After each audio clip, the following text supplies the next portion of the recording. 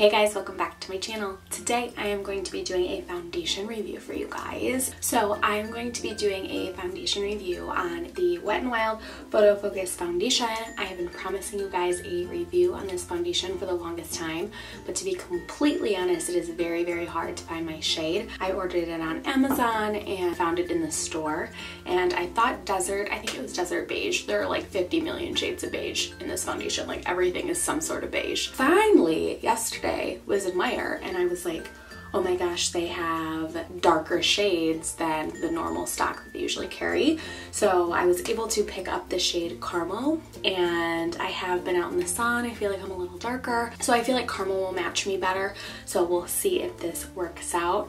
This foundation I find is very interesting. It said it was tested under seven light conditions, which is amazing. It says natural lighting, harsh lighting, all of that jazz. And I am in the bathroom right now, which is the worst possible lighting.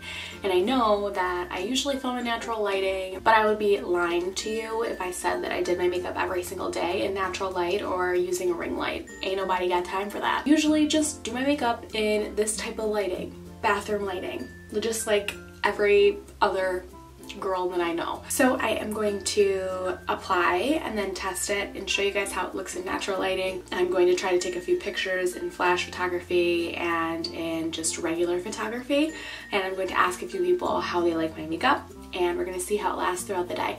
So if you guys want to see my honest review on the Wet n Wild Photo Focus Foundation, then just keep on watching. And don't forget to hit that subscribe button and the bell button so you never miss a new upload. So enough talking, let's jump right in. Okay, so I just got out of the shower, I cleansed my face, I put moisturizer on, I put eye cream on. So how I usually apply my foundation is I usually use the Smashbox primer water.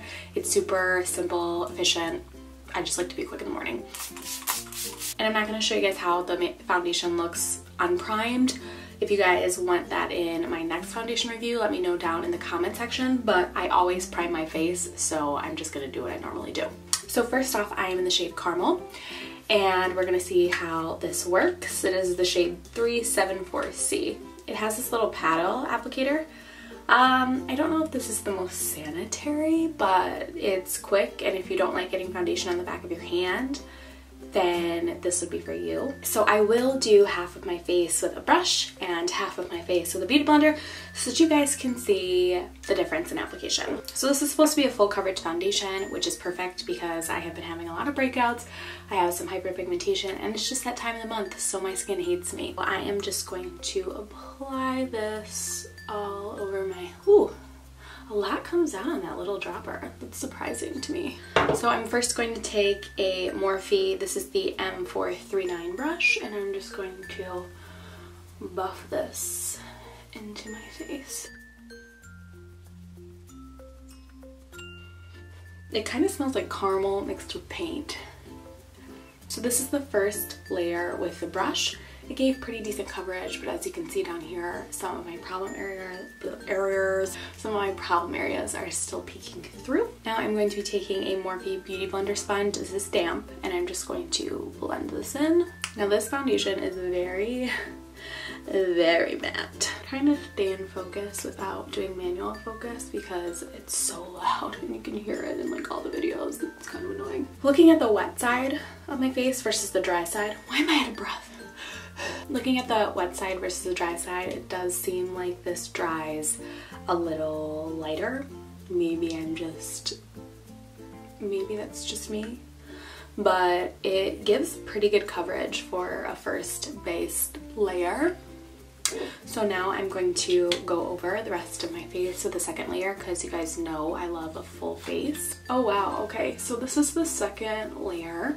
And as you can see, dang, it completely covered, but all of my dark spots are covered, all of my freckles are covered.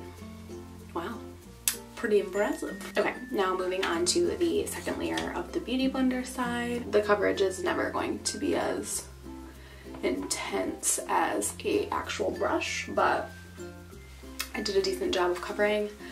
I cannot complain, but I really don't mind like freckles and stuff showing through. I'm like, that's like natural. I'm like, but the acne, nah, I don't want to see it.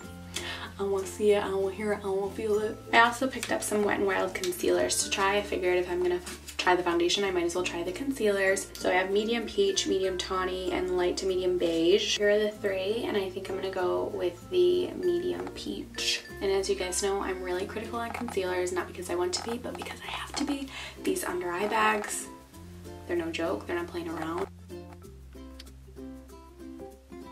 Like I'm usually never a fan of drugstore concealers, so let's pray for this one. I mean, this concealer is very creamy. I will give it that. Does anybody else have the hardest time drawing a straight line down their nose? Because I do. So now I'm going to take my same damp beauty blender and just blend this in. So this is just the first coverage. Um, not terrible it's not terrible, but it's not like anything to write home about. I'm not like ranting and raving about it, but it's also not the worst. Overall, I mean, it didn't give me like the best under eye coverage, but let's just go back with a second layer and try it like that. This does like a nice job of brightening my under eye. And I didn't get like a terrible amount of sleep last night, so that might be why my bag's like extra pop it today. We're just gonna work with it. I'm gonna go get roasted by everyone I see today. It's cool. it's cool. I am using the Laura Mercier translucent setting powder. And if a concealer does not work with my eye cream and my Laura Mercier setting powder, then you got to go. Also picked up the Wet n Wild contour and highlight set. I just pat it away I don't really swipe because I don't want to take away the concealer that I have underneath that. Now that is an intense highlight. We don't know what we're doing today, okay? We have no idea what we're doing. Okay, so we're back. This is the look compared to my uh, body. I'm a little yellow, but I think we can make it work. Here is a close-up of my face. Um, you can get nice and close to my pimples, okay? But overall, I gave a very flawless application. I haven't set my face, that's why I look powdery. So problem areas with foundation, things that I judge foundation on are my smile lines. Do they settle into my fine lines? I don't want to look older than I am. So if it settles into my fine lines throughout the day, then I'm out. I get that some foundations settle, you know, the slightest bit, that's fine. Like I'm not going to judge you, but if you're, if the foundation is separating on my face, if it's settling into my fine lines, like making my lines look like very pronounced, then I'm not into it. Um, also coverage underneath the eyes. I think it was pretty good for a drugstore foundation or drugstore concealer to be honest. Um, who knows how I will feel about that when I go into natural lighting, but it covered up my acne pretty well. Okay, so I'm gonna try this out throughout the day, let you guys know how it wears, check in with you guys a couple times, and then come back with you guys probably like later tonight. Okay guys, it is 8.21 p.m. I have had this on all day and as you guys can see, it has settled into my fine lines pretty badly. This is, I think, from one of the dogs just licking it off. I just realized that. Underneath my eyes is creased, but not like a crazy amount because you're always gonna have creasing underneath your eyes.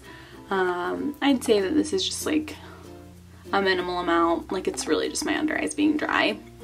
But the biggest buzzkill here is how much this stuff settled into my fine lines. And this is after me. Like, I know I try not to touch up throughout the day, but like it settled into my fine lines so bad that I had to like buff it out throughout the day.